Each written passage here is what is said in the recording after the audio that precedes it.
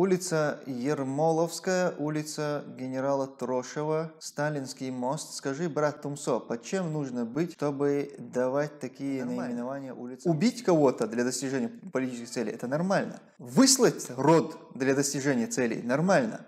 Похитить, запытать – нормально. Подбросить наркотики, посадить – вообще класс. То есть у них нет вот того, о чем ты говоришь. То есть мы с тобой...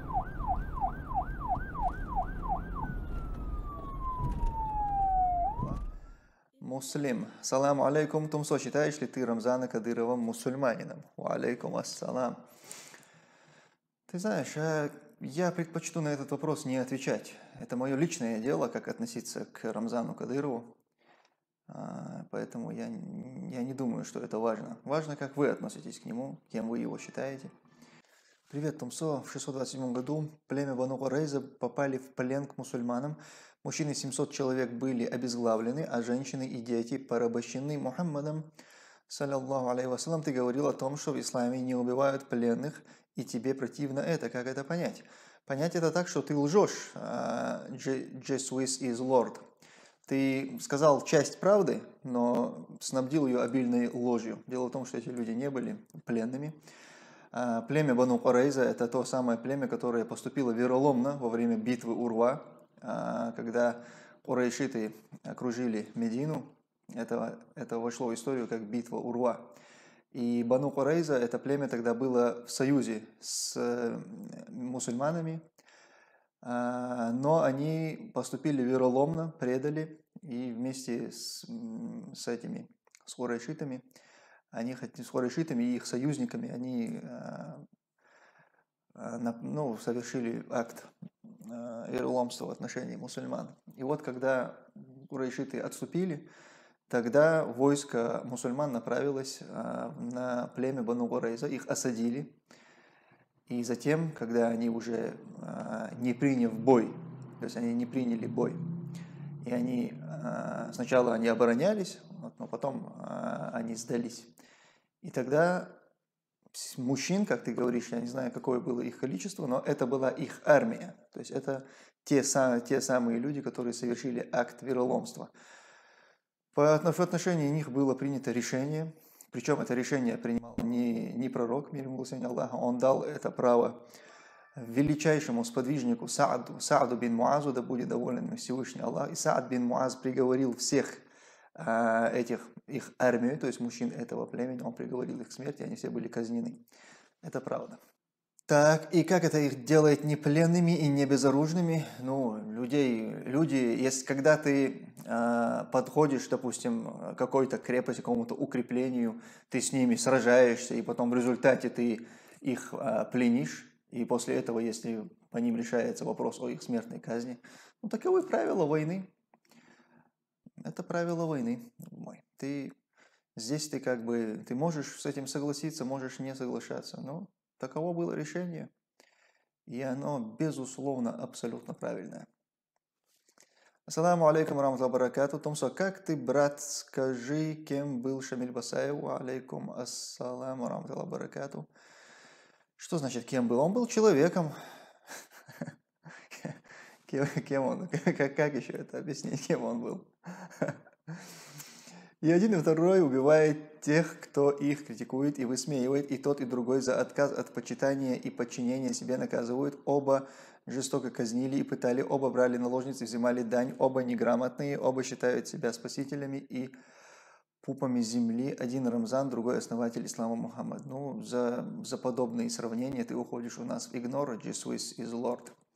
До свидос, нужно было быть очень аккуратным со своими высказываниями, когда ты говоришь о религии, когда ты говоришь о посланнике Аллаха, мир ему и благословение Аллаха, надо понимать, что ты э, тем самым задеваешь чувства верующих. В России даже статья такая есть, оскорбление чувств верующих, поэтому а, если бы ты вел диалог а, нормально, тебе бы отвечали. Но раз ты перешел на такие оскорбления, то до свидания. Твои комменты далее зачитываться не будут. Хоза. Улица Ермоловская, улица генерала Трошева, Сталинский мост. Скажи, брат Тумсо, под чем нужно быть, чтобы давать такие наименования улицам в Грозном? Улица Ацетоновая на этом фоне звучит весьма неплохо. Слушай, улица Ермоловская, я, честно говоря, такой не знаю. Генерала Трошева знаю улицу. Сталинский мост, ну, это скорее название, наверное, из, из, ну, из прошлого, да. А, ну, по поводу генерала Трошева, там, там есть, у нас есть улица Псковских десантников, у нас есть улица Трошева. И, ну, это, конечно, позор. Это величайший позор. И этих улиц у нас не будет, иншаллах. Как только у нас появится такая возможность, у нас не будет никаких улиц Трошева, десантников псковских, не будет улицы Ларсанова, там, Исаева, Кадырова, Путина и, и прочих, в общем, этих а, пу, пу, путинских пехотинцев. Не будет у нас этих улиц, разумеется, но сегодня они Сегодня они являются властью нашей, э, на нашей земле, поэтому они, пользуясь этим, называют сегодня таким образом эти улицы. Ну, пускай пока пируют, пока у них есть такая возможность. Крохоботы, вы, если вы думаете, что вы таким образом меня остановите, я перестану вести эфиры, вы глубоко заблуждаетесь. Посмотрите, чем больше вы активничаете, да, льете здесь грязь, тем больше э, зрителей в онлайне. Ваши, э, все ваши вот эти вот усердия, они оборачиваются против вас же самих. Всевышний Аллах оборачивает ваши козни против вас. Интересно, вот вы когда пишете отчеты, допустим, вы же для, для чего-то это делаете, то есть вы должны это делать либо для того, чтобы я э, перестал вести эфиры, либо я как-то, ну, я не знаю, занервничал, плакать начал в эфире, может быть, у меня истерика началась. Я не знаю, чего вы ожидаете, но вот вы, например, после вот этого своего рабочего дня, вы же должны некий отчет написать своему, своему хозяину, что вот вы сделали это, и это привело там вот к таким-то результатам. И интересно, что вы напишете? Мы, значит, забрасывали его помоями в эфире, а у него, наоборот, было больше зрителей. Как вы это объясните своему хозяину?